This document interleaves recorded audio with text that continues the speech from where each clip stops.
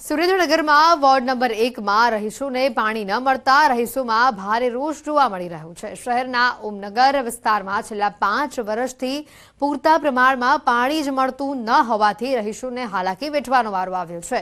નોંધનીય છે કે સુરેન્દ્રનગરની જનતાને પાણી પૂરું પાડતો ધોળી ધજા ડેમ હોવા છતાં સ્થાનિકોને પીવાના પાણીની સમસ્યા રહે જ છે. હાલ પાલિકા દ્વારા રહીશોને જે પાણી આપવામાં આવે છે તે પાણી ગંદુ અને વાસવાળું આવતું હોવાનું સ્થાનિકો જણાવી રહ્યા છે. પાલિકામાં પાણીની સમસ્યાને લઈને વારંવાર રજૂઆત કરવામાં આવે છે છતાં તંત્ર દ્વારા કોઈ નિરાકરણ લાવવામાં આવતું નથી. આગામી સમયમાં ચોખ્ખું પાણી આપવામાં નહીં આવે તો ઉગ્ર આંદોલનની પણ ચીમકી ઉચ્ચારવામાં આવે છે.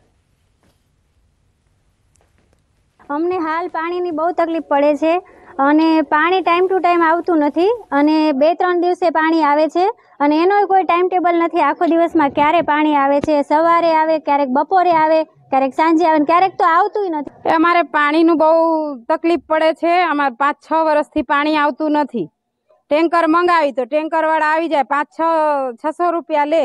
અમારે શું આમ હેરાન થવાનું પાણીનું? હા ઓછું આવે. આવે તારે ખરાબ પાણી થોડુંક આવે પછી આ જવાનો ટાઈમ થઈ જાય પાણીનો. તો આ ઓછું પાણી હાવ આવે.